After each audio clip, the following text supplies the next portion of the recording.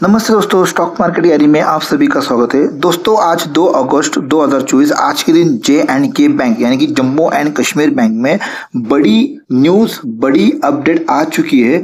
अब ये अपडेट क्या है, ये हम समझते दोस्तों, यदि आप चैनल पर नए हो तो प्लीज़ चैनल को सब्सक्राइब कीजिए और वीडियो को लाइक शेयर और कमेंट्स कीजिए। तो दोस्तों, चलिए सुनते हैं जे एंड के बैंक के क्या है। के सरकार का बजट पेश हो रहा है, जहाँ पर उन्होंने जे एंड के बैंक के को सात हज़ार नौ सौ करोड़ देने का प्रावधान किया है। ये आपके लिए खबर आती हुई दिख रही है। आ, सभी आरबीआई के नियम बैंक फॉलो कर रहा है। आ, अगर सरकार चाहे तो बैंक में हिस्सा भी बेच सकती है और केंद्र सरकार ने जे के सरकार के जम्मू कश्मीर बैंक के सभी देनदारी को पूरा भी कर दिया। इसमें दो चीज़ें थी। ये ये जो हमारा यूनियन बजट हुआ है उसमें है उसमें है जम्मू कश्मीर के बजट में जो हमारा बजट जो आया था अभी तेईस जुलाई को में जम्मू कश्मीर बैंक के अच्छा, लिए बैंक के लिए हाँ। सात हज़ार नौ सौ करोड़ रुपए देने का प्रोविज़न किया है हाँ। सरकार ने। सरकार इसकी सिग्निफिकेंस क्या ये बड़ी खबर नहीं है। ये बहुत बड़ी बहुत बड़ी कैसे है वो बहुत बड़ी खबर वो समझिए वो बहुत ज़रूरी है। कैसे?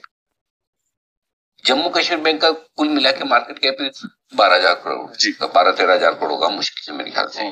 और उसमें अगर इनको आठ हज़ार करोड़ सिर्फ़ प्रोविजनिंग के लिए मिल रहे हैं इसका मतलब क्या इनके सारी बुक्स एनपी वगैरह सब क्लीन हो गए।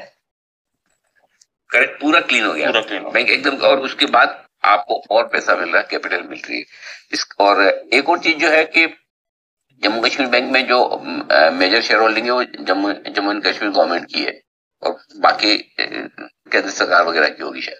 तो अब ये पूरी तरह से आरबीआई के सभी नियमों के अधीन हो। गया नहीं तो क्या है सब बैंक्स में है ना आरबीआई का नियम क्या है कि सब बैंक्स में एक लिमिट होती है आपकी वोटिंग पावर की। हम्म।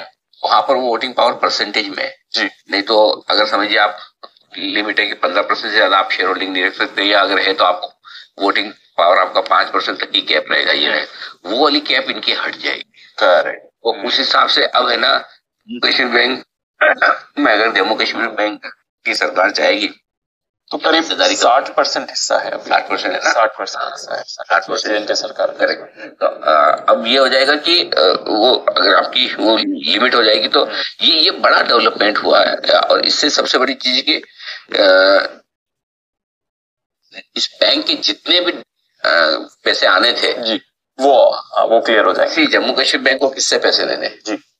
जम्मू एंड कश्मीर की सरकार सरकार से। सरकार से पैसे जब आएँगे तब आएँगे। हम्म। नहीं आ रहे तो क्या? केंद्र सरकार ने कहा ये लीजिए आप सात हज़ार नौ सौ करोड़ रुपए। इसको आसानी से समझिए। यस सात हज़ार नौ सौ क्योंकि अब सरकार के पैसे तो उससे तो आप एनपीए तो नहीं मानते। करेक्ट सर करेक्ट एनपीए तो कोई नॉर्मल आपने लैंडिंग की हो। लेकिन सरकार की जो देनदारियाँ थी उसके बदले में केंद्र सरकार सीधे बैंक को पैसा दे रही है। ये लो सात हज़ार नौ सौ करोड़ आपको फ्री हो जाओ। फ्री हो जाओ। बढ़िया। तो ये थी जे एंड के बैंक की आज की ब्रेकिंग न्यूज़ तो दोस्तों चैनल को चैनल को सब्सक्राइब कीजिए। Good bye